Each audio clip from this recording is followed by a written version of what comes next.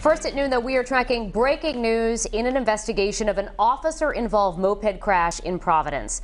A news conference is set to begin at any moment. Attorney General Peter Neronha will be announcing the findings of their investigation into a crash last October that left 24 year old Jhamal Gonsalves critically injured.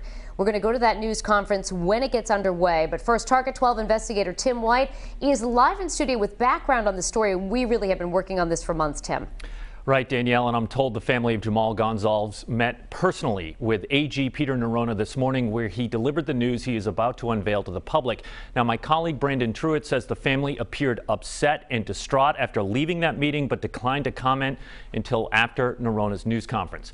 Now, look, a lot has happened since October when this crash happened, so I want to remind people about this case. Uh, case. As you may recall, Gonsalves was being pursued by Providence police cruiser driven by Officer Kyle Endres on October 8th as a pack of ATVs, dirt bikes, and mopeds were cruising through the city. Gonsalves was seriously injured in a crash that afternoon. The key question has always been, did the cruiser make contact with the moped causing the crash?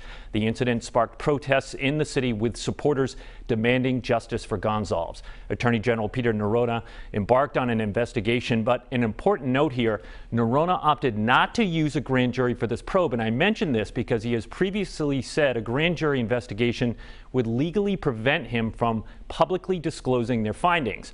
Gonsalves was in a coma following the incident. His stepfather just told my colleague Brandon that his condition is improving, but he is still not speaking. Gonsalves is currently at a hospital in New Jersey. Now, look, even if no officers are charged in this case, there are questions about whether there will be departmental discipline. And Danielle, I can tell you I texted with Providence uh, Public Safety Commissioner Steven Paré just before coming in the studio, and he tells me Officer Endres is still on administrative desk duty. We have multiple 12 News crews at the Attorney General's news conference, and we'll bring you the updates as they develop. Tim White, 12 News.